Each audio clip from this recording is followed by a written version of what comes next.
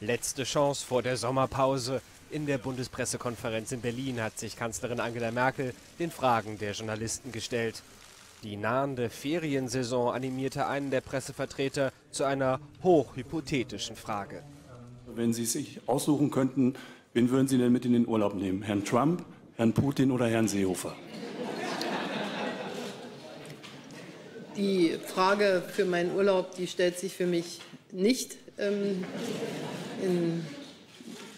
Urlaub ist Urlaub. Und ähm, dann ist die Frage nochmal zu Horst Seehofer. Da kann ich nur das wiederholen, was ich gesagt habe. Es war eine harte Auseinandersetzung. Wir haben einen Kompromiss gefunden, der die Handlungsfähigkeit der Regierung sicherstellt. Und das ist das, was für mich entscheidet. So zurückgeholt auf dem Boden der Realpolitik stellten die anwesenden Journalisten eine Fülle von Fragen verschiedenster Themengebiete, so auch zum Ausgang des NSU-Prozesses in München. Es bleibt die Frage im Raum und die kann man ja im Grunde nur dadurch beantworten, dass so etwas nicht wieder passiert. Wie konnte ein so komplexer ein so komplexes, schreckliches äh, Vorgehen möglich sein, ohne dass die zuständigen Behörden es zwischenzeitlich gemerkt haben, längst aufgeklärt hatten. Und dann kam doch noch einmal die Sprache auf Donald Trump.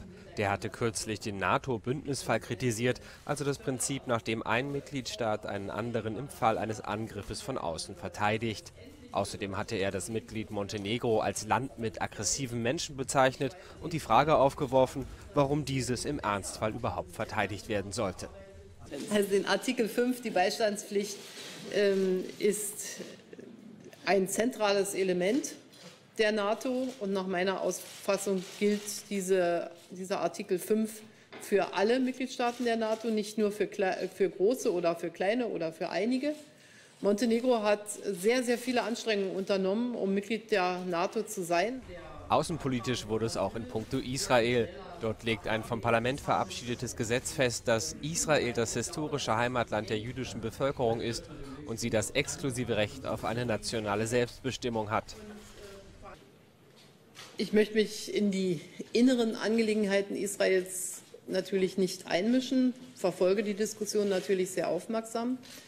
Ich glaube, dass, oder ich bin der festen Überzeugung, dass es das Recht der Existenz für einen jüdischen, demokratischen Staat gibt. Im Übrigen zusammen mit einem lebensfähigen palästinensischen Staat, woran wir leider immer noch arbeiten und wenig Fortschritte sehen. Mit der Sommerpressekonferenz verabschiedet sich die Bundeskanzlerin traditionell in die Ferien.